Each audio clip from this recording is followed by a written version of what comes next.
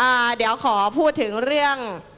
กรณีดินแดนที่มันเป็นปัญหาหน่อยนะ ก็มีการลงเกี่ยวกับ MOU 43 เป็นอย่างไรมาดูกันนะฮะอ่าก็บอกว่าที่จริงแล้ว ไทยเราปักปันเขตแดนตามหลักสันปันน้ำเสร็จเป็นร้อยปีแล้ว ตามอนุสัญญาคริดศักราช 1904 และ 1907 แต่พอเกิดปัญหาเขมรทวงปราสาทเขาพริหาร ไทยเราเลยเสียเฉพาะตัวปราสาทไป แต่พื้นที่ส่วนอื่นก็ยังเป็นของเราตามหลักสันปันน้ำทีนี้พอผ่านมาร้อยปี หลักเดิมชำรุดสูญหาย อันนี้คืออ้างจากหม่อมราชวงศ์สุขุมพันธ์พูดนะฮะประกอบกับเขมรก็บุกรุกจนปะทะกับทหารไทยเมื่อปี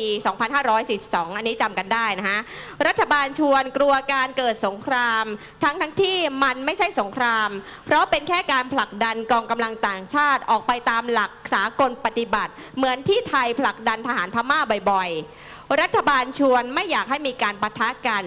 จึงไปเชิญเขมรมาร่วมปักปันเขตแดน และดันไปให้เขมรกลับไปเอา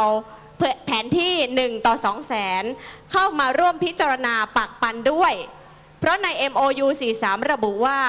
ใช้ทั้งหลักสันปันน้ำคริดศักราช 1904 และแผนที่ 1 ต่อ 2 แสนมาพิจารณาร่วมกัน ก็กลายเป็นว่าเดิมทีเราปักปันไว้ด้วยหลักสันปันน้ำ ก็กลายเป็นไปยอมรับเอาแผนที่ 1 ต่อ 2 แสนเข้ามาร่วมพิจารณาด้วย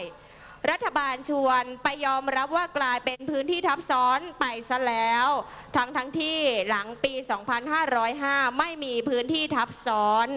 นอกจากแผ่นดินใต้ตัวปราสาทเท่านั้น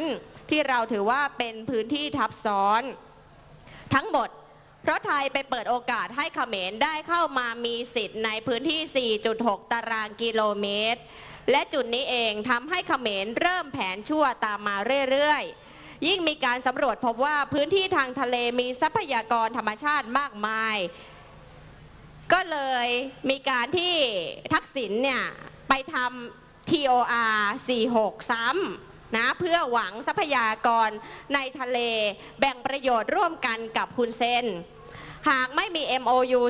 43เขมรจะไม่ขึ้นทะเบียนเขาพฤหารเป็นมรดกโลกฝ่ายเดียวแน่ ๆ จุดเริ่มต้นมันก็อยู่ตรงนี้แหละ MOU ปี 43 ถ้าไม่มี MOU 43 แต่แรก รัฐบาลชวนไม่อ่อนข้อใช้กำลังผลักดันกองกำลังต่างชาติตามหลักสากลแต่แรก ปัญหาทุกวันนี้จะเกิดไหมคะอ่าอันนี้ เกร็ดเล็กๆ น้อยๆ เอามาจาก FacePad นะคะท่านผู้เยาว์ตรงนี้ถ้าใครยังไม่ได้เป็นสมาชิก FacePad ไปกดไลค์ได้นะคะ ใน Facebook ใครเล่น Facebook มั่งเอ่ยนี่อ่าก็จะมีการด้านหน้ามียกมืออัพแล้วข่าวขึ้นให้ตลอดเวลานะแบบบ้าคลั่งบางวันนี่นั่งถึงเช้าอัพนะคะก็ก็ก็จะมีการส่งข้อมูลข่าวสารกันแล้วอีกหน่อย เราก็จะมีการเอ่อ